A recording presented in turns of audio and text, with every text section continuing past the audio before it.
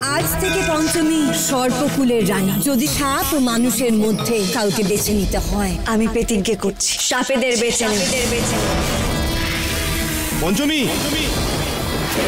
নাগকুল না স্বামী কাকে বেছে নেবে পঞ্চমী? পঞ্চমী সোম থেকে রবি প্রতিদিন রাত সাড়ে আটটায়। স্টার জলসায়।